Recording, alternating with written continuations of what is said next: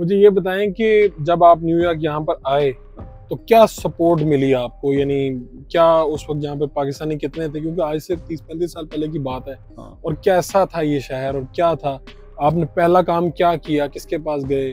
क्या हालात? देखें अब तो जो है ना इतने पाकिस्तानी हैं तो आपको हर जगह से ना इंफॉर्मेशन मिल जाती है आपको जानने वाले मिल जाते हैं वो आपको मेरा मतलब है कि सहारा दे जाते ठीक है। जब मैं आया हम्म, तो मैं मेरे घर के करीब एक डॉक्टर की फैमिली थी अच्छा, वो यहाँ पे बहुत ज़्यादा स्टैब्लिश थे ठीक है। मैं उनके घर से उन्हें फ़ोन करवा के आया कि साਡਾ बच्चा पढ़न आ रहा है। जैसे हम्म। होता है ना। हम्म, तो आ रहा तो इसकी हेल्प कर देना। तो मैं एयरपोर्ट से उतरा तो मेरे पास तो वही सबसे बड़ा रेफरेंस एक ही रेफरेंस था। एक ही रेफरेंस ओके और वो मैंने उन्हें कॉल किया तो उन्होंने मैं फ्लैटली रिफ्यूज कर दिया। क्या कहा? उन्होंने कहा जी फिर मैं कहा जी मैं आ गया। तो ये अल्फाज उनका जवाब आज तक मेरे जहन पे हथौड़े मार के गूंजता है। हम्म, कि मैं इतनी उम्मीदें लेके आया था कि मैं एक अजनबी शहर में जो है वो हूँ मुझे सहारे की ज़रूरत है हम्म। या कोई मुझे सहारा दे दे या कुछ है। तो उनका आगे से फ़ोन पे जवाब था तो मैं की कर? अच्छा ये भाई आए हो तो मैगी करा। मैगी कर। ओके बात खत्म हो गई ना यानी मेरी तरफ़ से कुछ सपोर्ट ओके फिर क्या हुआ? फिर क्या किया आपने? यानी कि मैंने उनसे पूछा भी मैंने कहा जी देखें मुझे वो नहीं है मैं तो स्कूल जाऊँगा पढ़ने। हम्म, लेकिन ये है कि आप जो है अगर कोई हेल्प कर दे आपके सुना है आपकी फैमिली ने बताया कि आपका बहुत बिज़नेस है यहाँ हम्म, तो कहीं मुझे जॉब मिल जाए। जॉब मिल जाए मैं। पार्ट टाइम काम करूँ स्कूल के बाद जो वो तो हम्म। उन्होंने फ्लैटली रिफ्यूज कर दिया।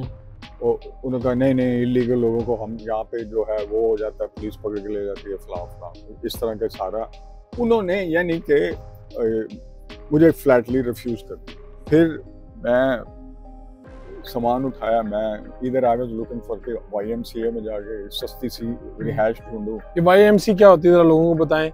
यंग मैन क्रिश्चियन एसोसिएशन हाँ। माल रोड के ऊपर भी वाई एम सी ए का एक बहुत ज़्यादा बहुत यानी स्टूडेंट्स हैं ये इकट्ठे रहते हैं शेयरिंग करते हैं वो चार पाई के ऊपर चार पाई बेड के ऊपर बेड हाँ ऑलमोस्ट वही हिसाब होता हाँ। लेकिन उससे थोड़ा सा बेहतर है। बेहतर है, लेकिन सस्ते कमरे सस्ते कमरे हैं ठीक हाँ। है ठीक। वो जो क्रिश्चियंस क्लब है तो वो क्रिश्चियंस लोग जो है ना अपने कम्युनिटी को सपोर्ट करने के लिए इस तरह के ओके हाँ दे डोंट केयर कि जी मैं मुसलमान हूँ या बस वो दे देते हैं। वो दे देते हैं। आप उधर चले गए? नहीं उधर जाने से पहले ही ना मैंने यूँ ही एक नंबर घुमाया। किस्मत देखे ना हाँ। कहाँ कौन कौन कौन कहाँ कहाँ पे हाथ पकड़ता हम्म। है। तो मेरे एनसीए में मेरा क्लास फेलो था तो उसके भाई यहाँ पे थे।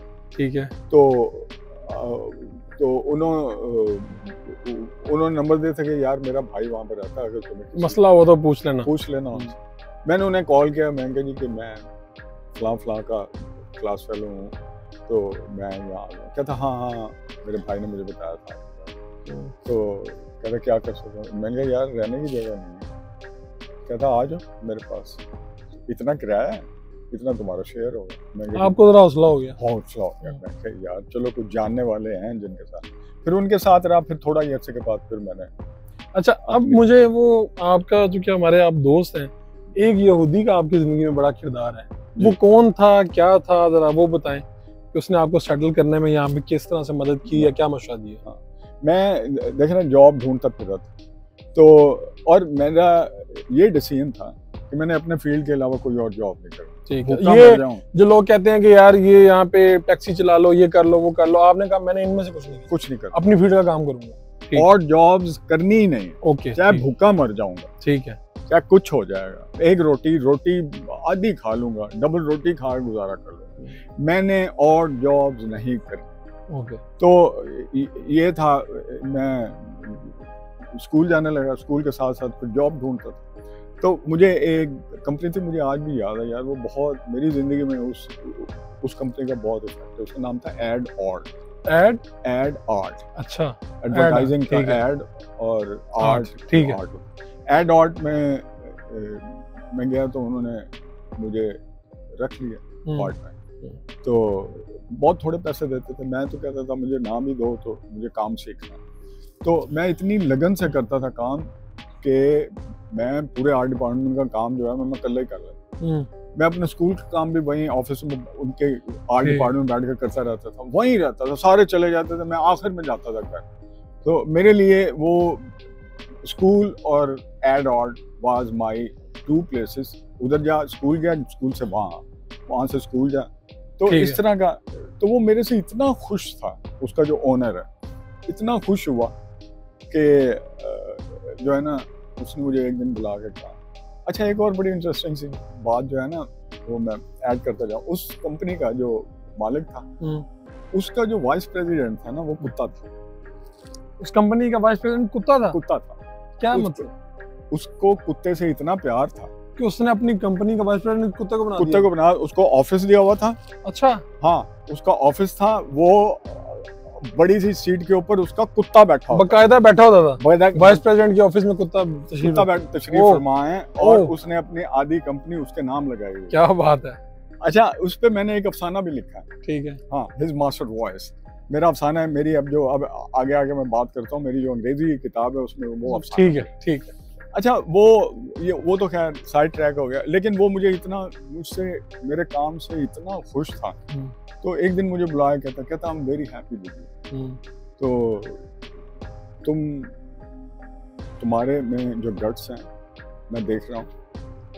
तुम बहुत आगे जाओगे you don't have to stay with my company अच्छा?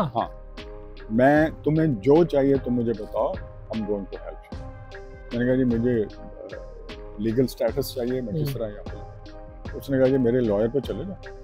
उसको जो जो चीज़ चाहिए मैं देने को तैयार हूँ। और top of it top of it ये सुना जाता है ना कि अपने लिए कर रहा है वो। हाँ और यहूदी है यहूदी है एक अच्छा हाँ एक अच्छा वर्कर यार यहाँ यहूदियों को पता ही नहीं है कि ये जो इसराइल है और वो एक सर्टन एक क्लास है एक सर्टन क्राउड आप कह रहे हैं आपके काम से आपकी इज़्ज़त करते हैं हाँ।